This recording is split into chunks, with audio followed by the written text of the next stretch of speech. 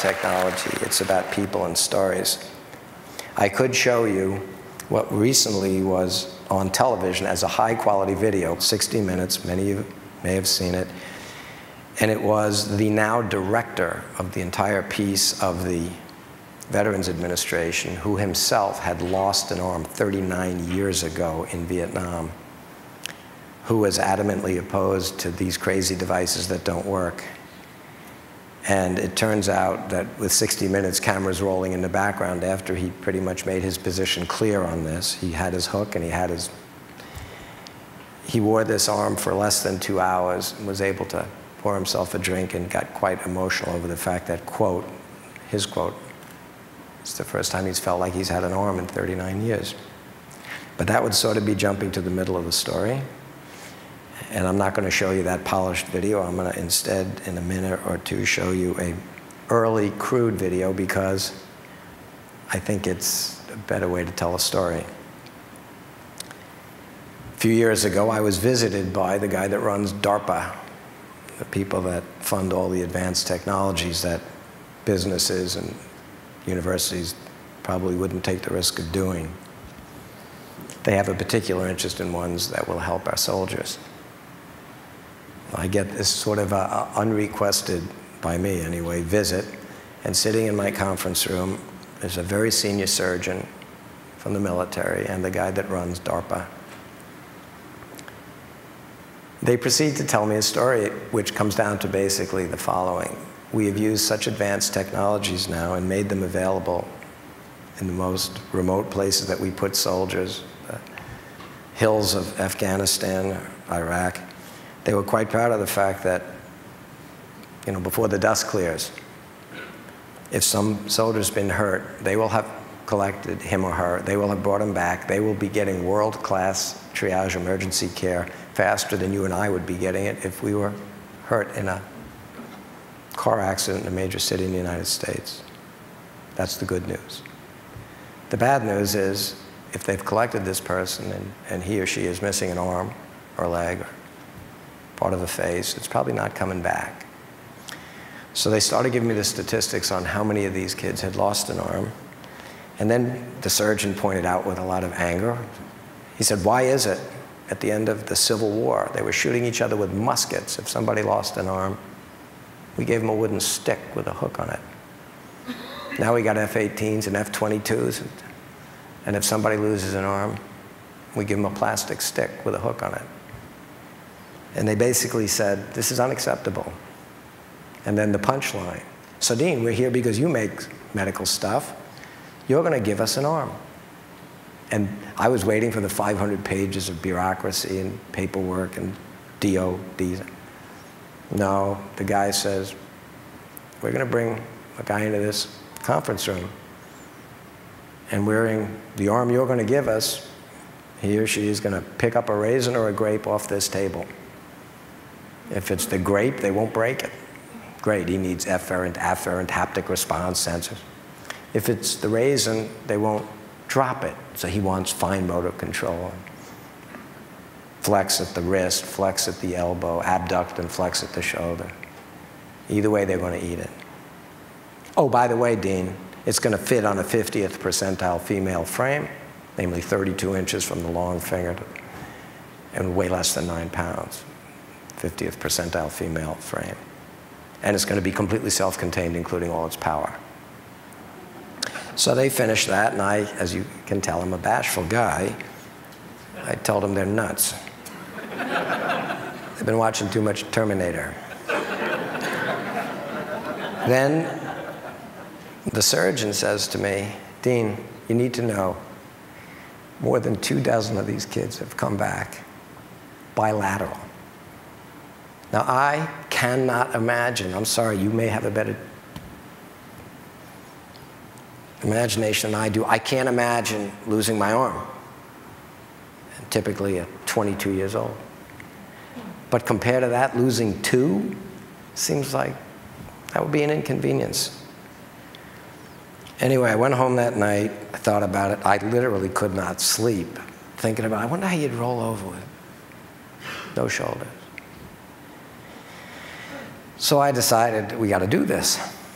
And trust me, I got a day job. I got a lot of day jobs. Most of my day job keeps me busy funding my fantasies like First and Water and Power. I got a lot of day jobs. Like, but I figured I got to do this. Did a little investigation. Went down to Washington, told them, I still think they're nuts, but we're going to do it. I told them I'd build them an arm. I told him it would probably take five years to get through the FDA and probably 10 years to be reasonably functional. Look what it takes to make things like iBots. Great, he said, you got two years. I said, I'll tell you what, I'll build you an arm that's under nine pounds that has all that capability in one year. It'll take the other nine to make it functional and useful again. We sort of agreed to disagree. I went back and I started putting a team together best guys I could find with a passion to do this. At the end of exactly one year, we had a device with 14 degrees of freedom, all the sensors, all the microprocessors, all the stuff inside. I could show you it with a cosmesis on it that's so real it's eerie, but then you wouldn't see all this cool stuff. I then thought it would be years before we'd be able to make it really, really useful. It turned out as I think you could see in Amy's capabilities and attitudes, people with a desire to do something are quite remarkable, and nature is quite adaptable. Anyway, with less than 10 hours of use, two guys, one that's bilateral, he's literally got no shoulder on one side and he's high transhumeral on the other, and that's Chuck and Randy together. Uh, after 10 hours we were playing in our office, and we took some pretty cruddy home movies. At the end of the one I'm going to show, it's only about a minute and a couple of seconds long. Chuck does something that to this day I'm jealous of. I can't do it. He picks up a spoon, picks it up, scoops out some shredded wheat and milk, holds the spoon level as he translates it, moving all these joints simultaneously to his mouth. And he doesn't drop any milk. I cannot do that. His wife was standing behind me. She's standing behind me at the time, and she says, Dean, Chuck hasn't fed himself in 19 years. So you got a choice. We keep the arm, or you keep Chuck. So, can we, can we see that?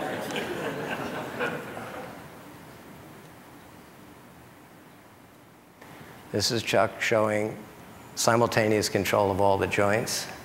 He's punching our controls guy. The guy behind them is our engineer slash surgeon, which is a convenient guy to have around. There's Randy. These guys are passing a rubber little puck between them. And just as in the spirit of first, gracious professionalism. They're quite proud of this, so they decide to share a drink. This is a non-trivial thing to do, by the way. Imagine doing that with a wooden stick and a hook on the end of it, doing either of those. Now Chuck is doing something quite extraordinary, at least for my limited physical skill. And now he's going to do what DARPA asked me for. He's going to pick up a grape. He didn't drop it. He didn't break it and he's going to eat it. So that's where we were at the end of about 15 months.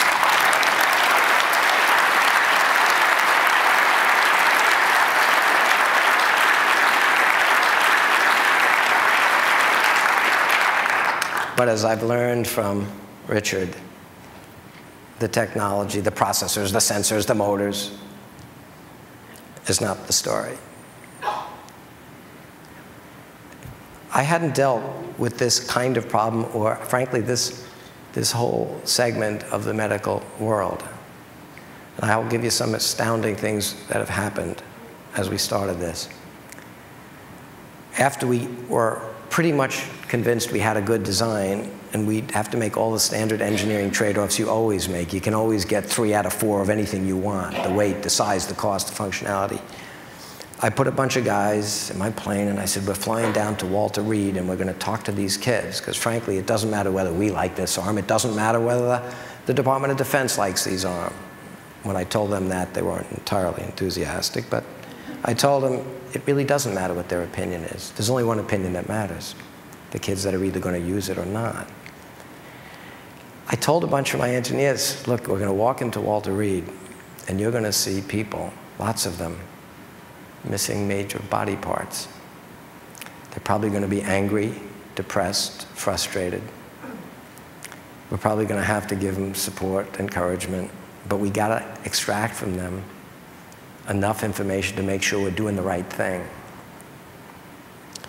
We walked into Walter Reed, and I could not have been more wrong. We did see a bunch of people, a lot of them, missing a lot of body parts. And parts they had left were burned. Half a face gone, an ear burned off. They were sitting at a table, they were brought together for us, and we started asking them all questions. Look, I'd say to them, we're not quite as good as nature yet. I could give you fine motor control, or I could let you curl 40 pounds. I probably can't do both. I can give you fast control with low reduction ratios in these gears, or I can give you power. I can't give you both. And we were trying to get them to all help us know what to give them.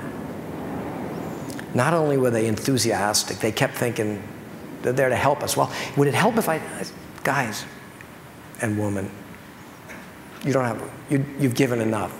We're here to help you. We need data. We need to know what you need. After half an hour, maybe, there was one guy at the far end of the table who wasn't saying much. You could see he was missing an arm. He was leaning on his other arm. I called down to the end, hey, you haven't said much. If we needed this or this, what would you want? And he said, you know, I'm the lucky guy at this table. I lost my right arm, but I'm a lefty. So he wouldn't say much. He had a great spirit, like all the rest of them had great spirit. And he made a few comments. And then the meeting ended. We said goodbye to all these guys. And that guy pushed himself back from the table. He has no legs. So we left. And I was thinking, we didn't give them support and encouragement. They gave it to us. They're not finished giving yet. It was astounding. So we went back, and I started working harder, faster. Then we went out to Brooke Army Medical Center, and we saw lots of these kids, lots of them. And it was astounding how positive they are. So we went back, and we've been working harder yet. We're in clinical trials. We've got five of them on people. We're screaming along. And I get a call, and we go back to Washington we go back to Walter Reed, and a kid literally 20 some odd days before that was blown up. And they shipped him to Germany. And 24 hours later, they shipped him from Germany to Walter Reed. And he was there. And they said we needed to come. And I went down, and they rolled him into a room He's got no legs. He's got no arms. He's got a small residual limb on one side. Half of his face is gone, but they said his vision's coming back. He had one good eye. His name is Brandon Marrocco. And he said, I need your arms, but I need two of them. You'll get them. This kid was from Staten Island. And he said, I had a truck before I went over there, and it had a stick. You think I'll be able to drive it? Sure. And I turned around and went, How are we going to do this?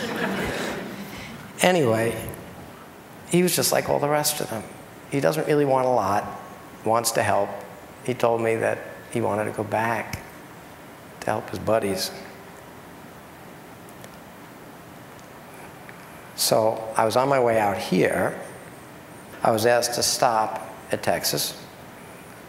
There were 3,500 people, the Veterans Administration, U.S., just 3,500 at this huge event to help the families of all the kids. Some that have died, some that have, like Brandon. And they wanted me to speak. I said, What am I going to say? This is not a happy thing. Look, if this happens to you, I can give you this stuff is still not as good as the original equipment. You know, you need to come. So I went, and as I think you get the point, there were a lot of people there recovering, some further along than others. But universally, these people that had been through this had astounding attitudes. And just the fact that people care makes a huge difference to them. I'll shut up, except one message or concern I have. I don't think anybody does it intentionally. But there were people there literally talking about, well, how much will they get? How, you know, this country is involved, as we've all heard, in this great healthcare debate. Who is entitled to what? Who's entitled to how much? Who's going to pay for it? Those are tough questions. I don't have an answer to that. Not everybody can be entitled to everything simply because you were born here. It's not possible. It would be nice, but let's be realistic. There are tough questions. There's polarized groups down there. I don't know the answers. There's other questions that are tough. Should we be there? How do we get out? What do we need to do? There's very polarized answers to that question, too, and I don't have any answers to that. Are, those are political questions, economic questions, strategic questions. I don't have the answer, but let me give you a, a simple concern or maybe statement that it is an easy answer. I know what these kids deserve on the healthcare side. I was talking to one of them, and he was really liking this arm. It's way, way, way better than a plastic stick with a hook on it. But there's nobody in this room that would rather have that than the one you got. But I was saying to him, you know, the first airplane went 100 feet in 1903, the Wilbur and Orville. But you know what? It wouldn't have made an old pigeon jealous. But now we got eagles out there, F-15s, even that bald eagle. I've never seen an, a bird flying around at Mach 2. I think eventually we'll make these things extraordinary. And I said to that kid, I'll stop when your buddies are envious of your Luke arm because of what it can do and how it does it. And we'll keep working. And I'm not going to stop working until we do that. And I think this country ought to continue its great debate, whining and complaining, I'm entitled, you're a victim, and whining and complaining about what our foreign policy ought to be. But while we have the luxury of whining and complaining about who's paying for what and how much we get, the people that are out there giving us that great privilege of whining and complaining, I know what they deserve. Everything humanly possible. And we ought to give it to them.